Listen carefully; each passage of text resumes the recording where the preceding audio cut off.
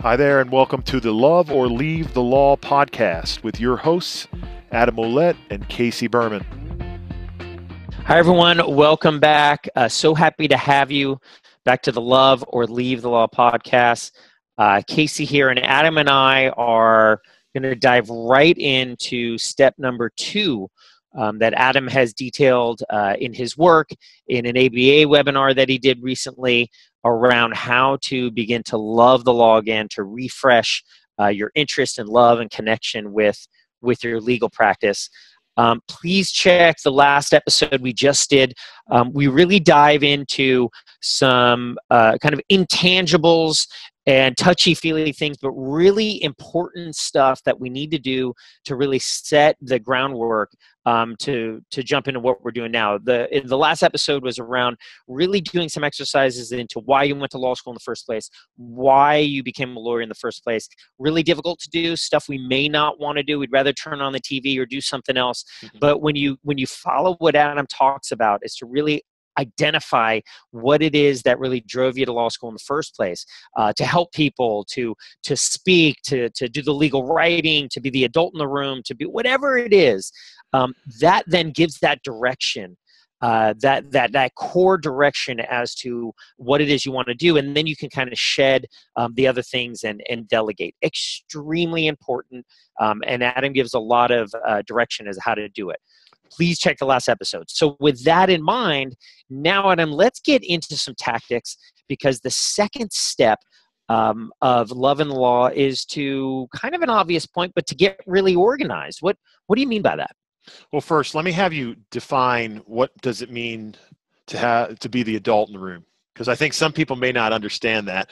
And let's start with that. Let me t- have you, you've never told us what that means. I know what it means, but I want yeah. you to explain that to us, and then we're going to jump into some of these tips okay. here. So please tell us what does that mean? I yeah. So one thing. Okay. So before we get into that, one thing that that I've I've done a lot of work um, in helping people leave the law, but I think this is applicable to those who want to stay in the law. Is that we shy away from finding those skills or wanting to really identify those skills that don't seem that tangible to us. Mm. You know, when you think about what what should a lawyer do? Well, they should write briefs, they should argue cases, they should get the settlements they need to uh, do these things that are very tangible.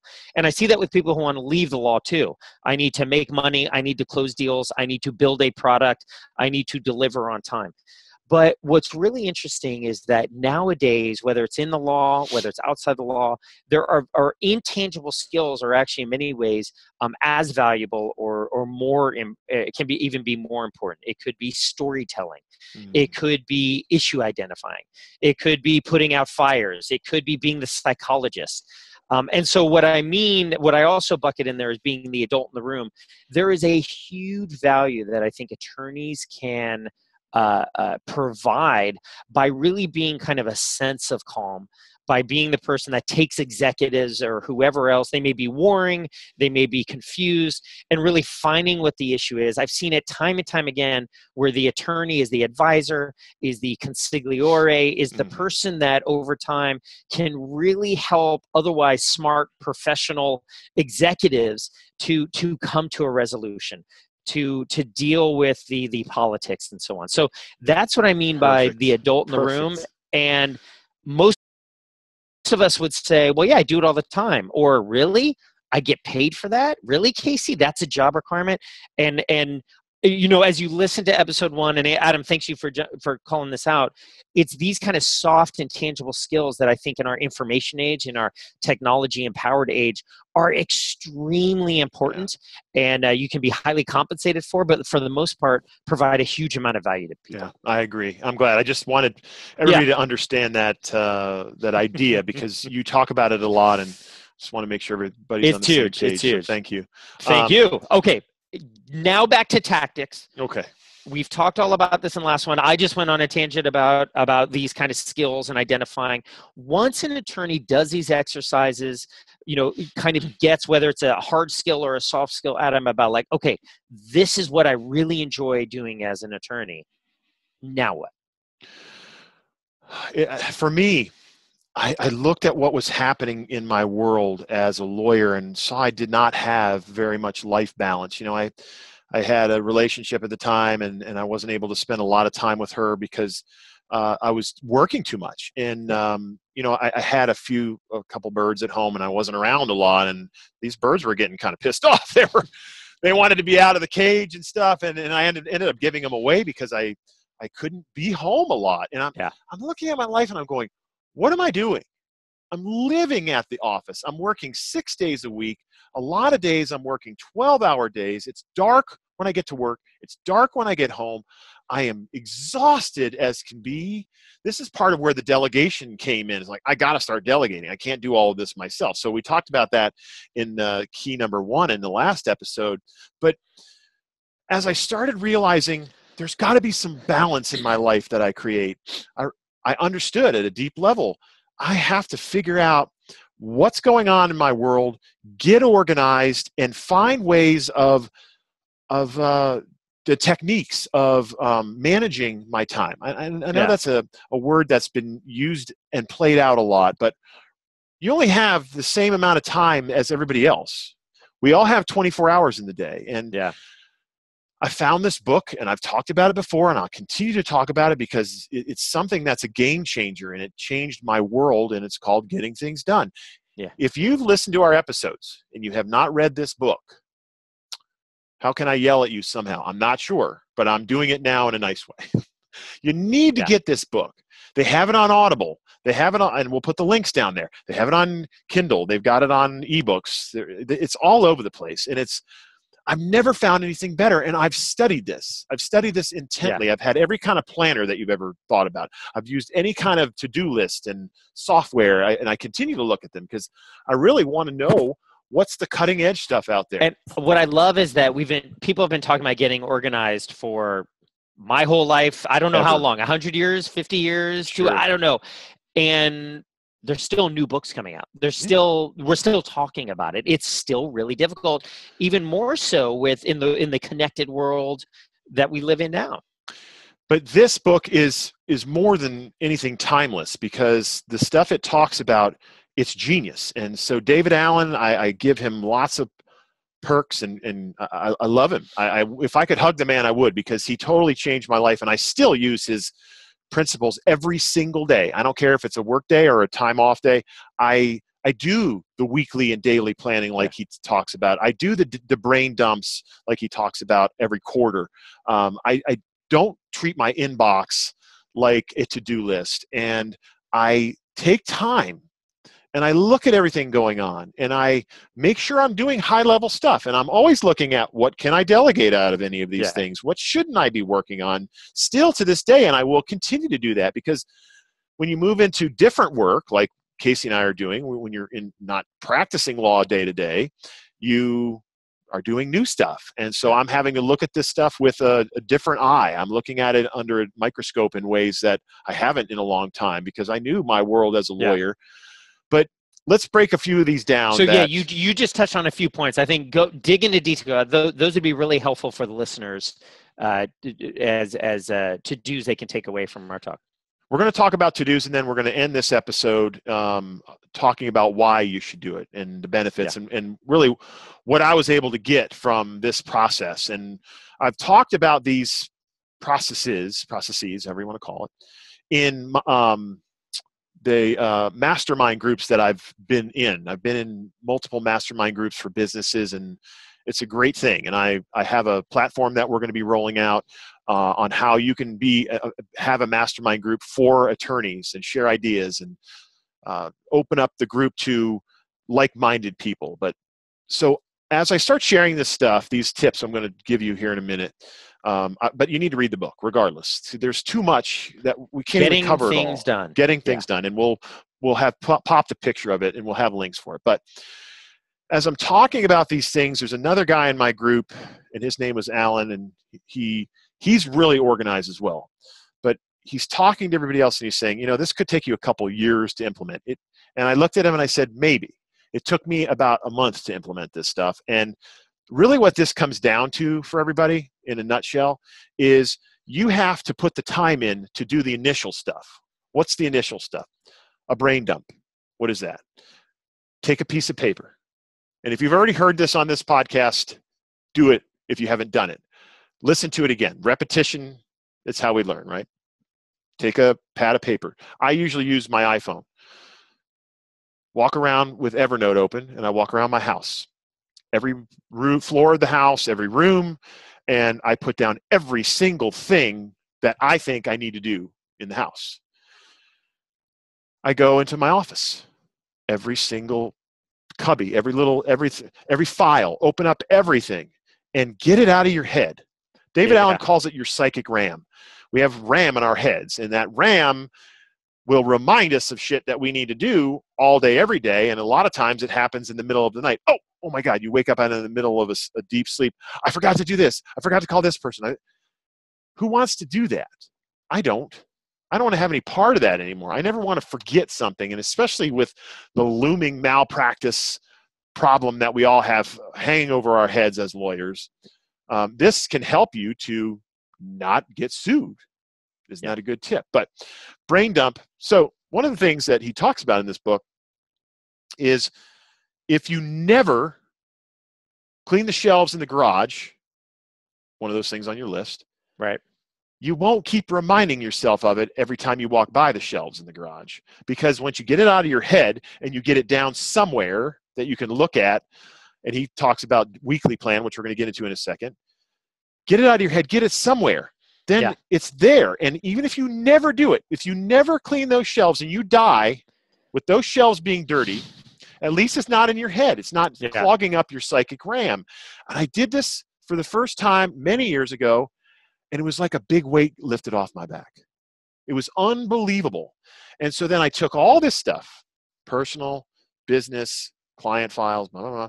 and I, then I organized it into a program. It's called yeah. OmniFocus. They only make it for the Macintosh, and it's a getting things done based software uh, where you list things based on where you're going to do them. So if you're going to, if it's something you're going to do in the office, if it's something you're going to do on your computer in your office, you can sit down at the computer in the office say what do i got to do from the computer in the office today what do i have to do from my phone what calls do i have to make if i'm at home errands running errands right. it's so genius it's so genius. And so the brain dump then gets compacted into various aspects of our lives.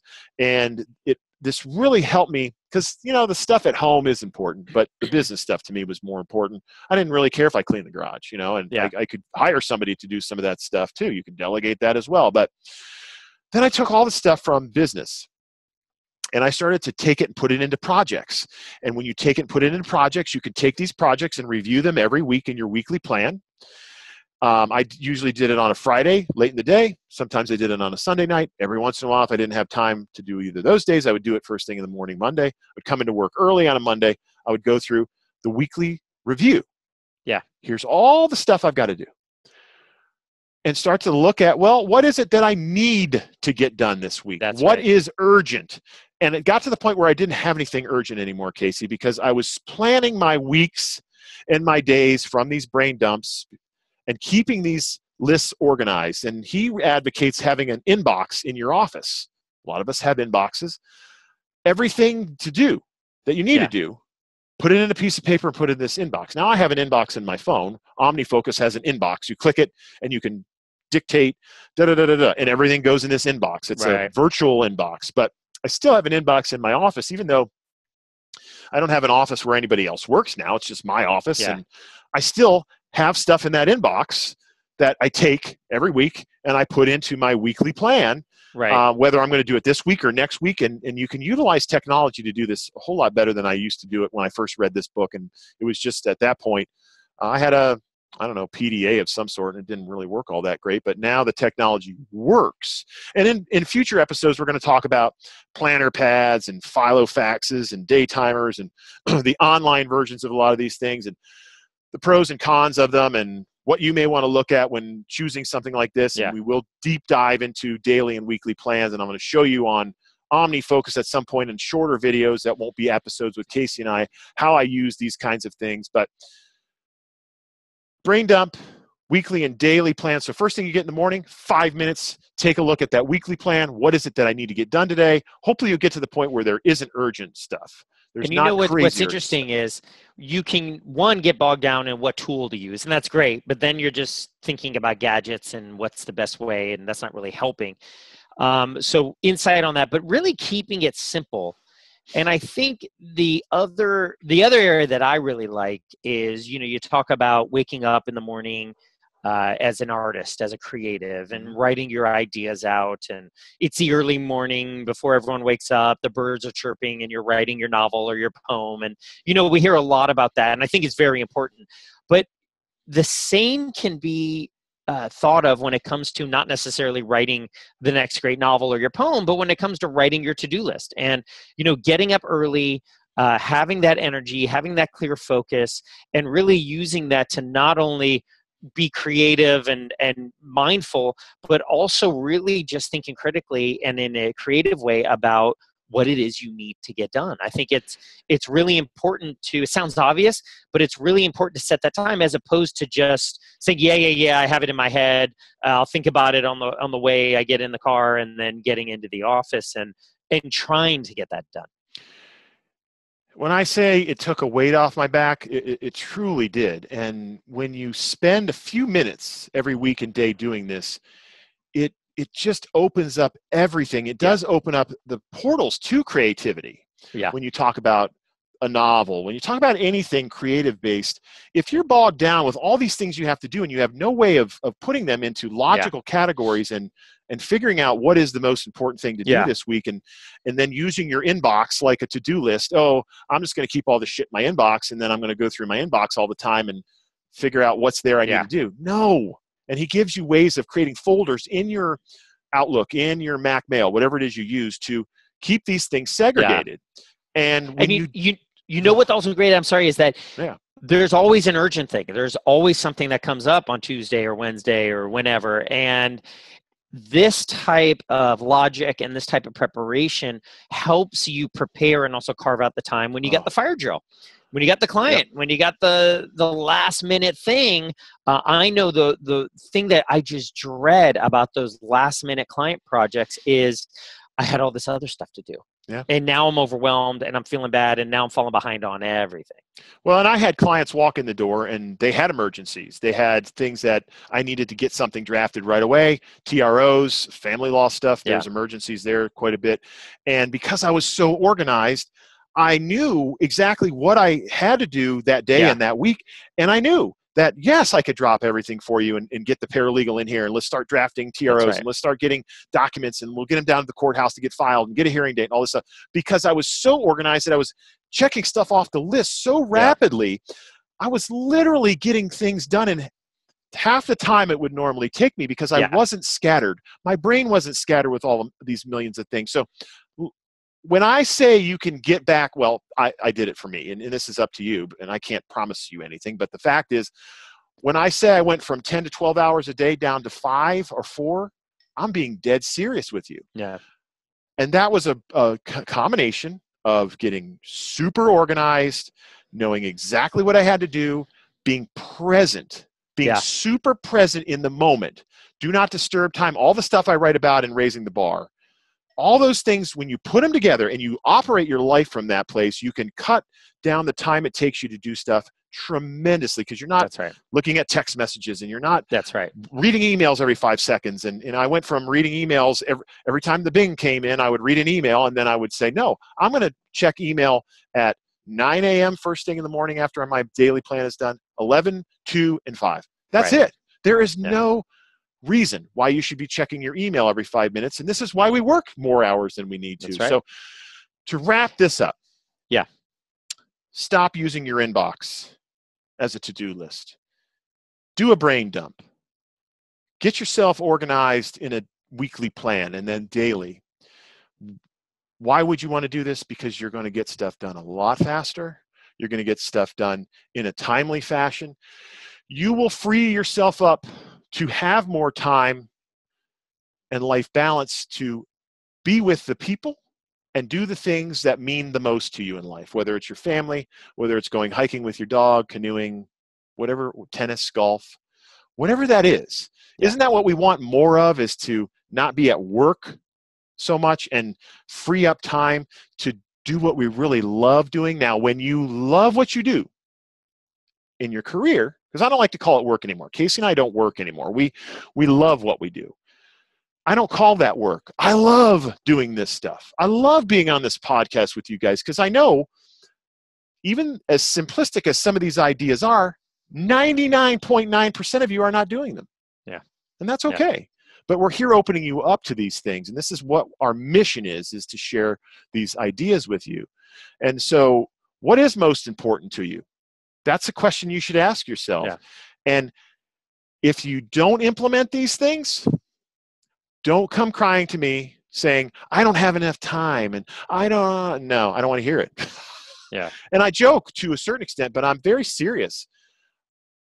The key with anything in life, when you learn something, is if it makes sense to you, try it out, That's implement right. it. If I would have never implemented these things that I've learned, I would never be here talking to you because I would have never had the opportunity to be able to write a book while I was still practicing yeah. law and work my way out of the of the career and have businesses that continue to operate without me as long as those businesses want to continue and those people that are running those businesses yeah. want to continue to have them that's up to them now but I set it up so that it did run without me with with a lot of these principles we're talking about. And so I think that's the point that I've learned yeah, and the point that I've learned from a lot of this is not the question is not how do I find the time to do this, or the statement isn't I don't have the time.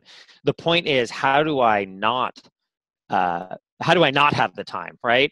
How do I how do I not? Why would I not want to focus on some of this? Uh, as you take the time to think this through, um, and you know really uh, go back to the source really uh, look at this uh, what it does is it saves time. And I think for many of us, we don't believe it. We don't think it can mm. happen. Um, or we may even feel guilty like, wait a minute, you're going to save me time and I can go spend time with my kids. One, I don't believe it can happen. And two, if I am spending time with my kids on a, if I call uh, end Friday on a short day, I don't I don't feel right. I should be working. And and yeah. it's not only a tactics that Adam's talking about here to help, but this is um, in spirit with what we talk about on this podcast a bigger shift. This is a bigger mindset shift. These are different beliefs we're after.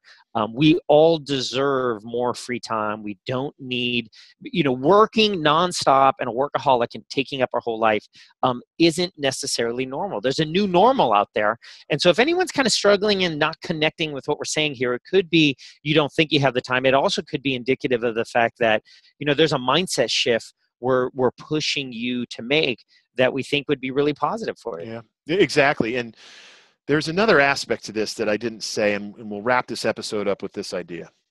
When I went to from you know 10, 12 hours a day to four or five hours a day, um, and I'm focused on what I want to do, what I love doing.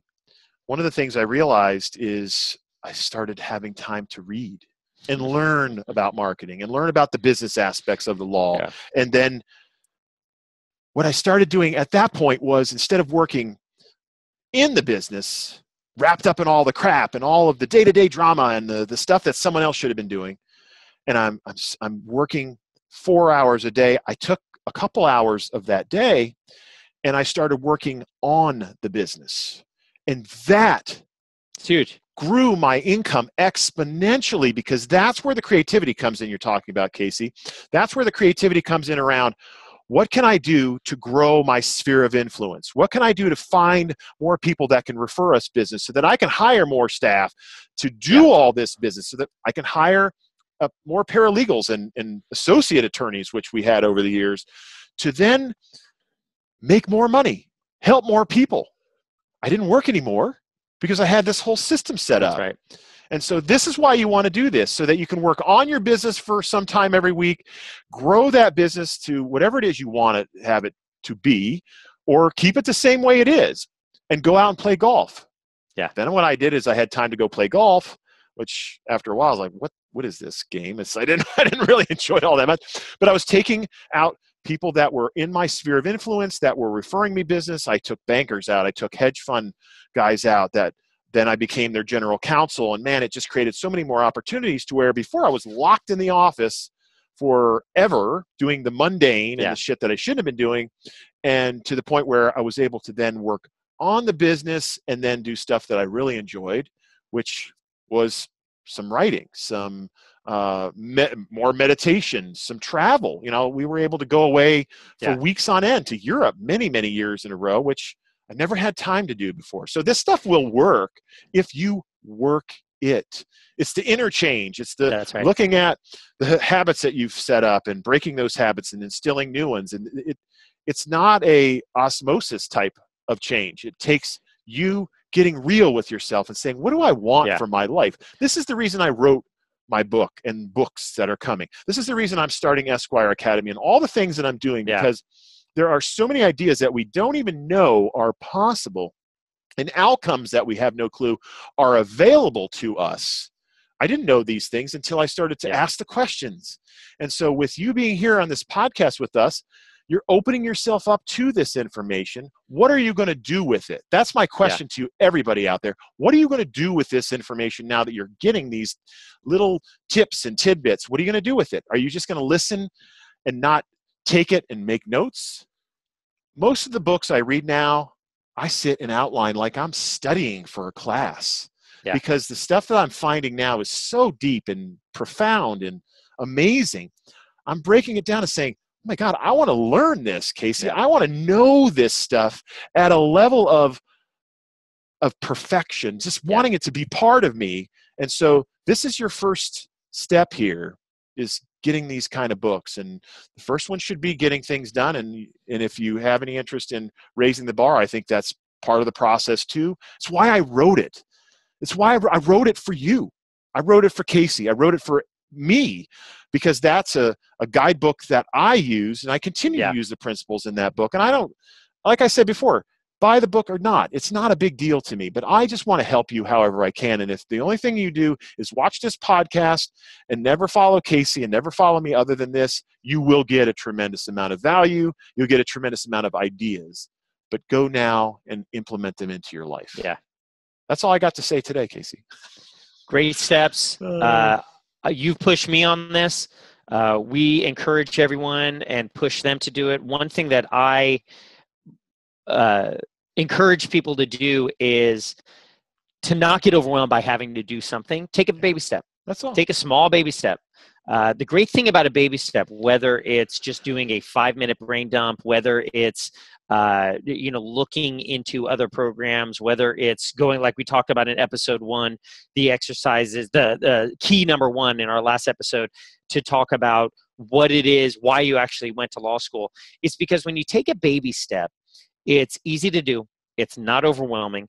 It builds confidence. And you know what? If you fail at it, if you don't do right at it, we're such perfectionists, that's okay. You don't fall that far. You can easily pick yourself back up. You haven't invested everything in it. You haven't told the whole world you're doing it. It's a quick baby step. So a lot of the stuff that we're talking, the whole reason we've created this podcast is to is to help.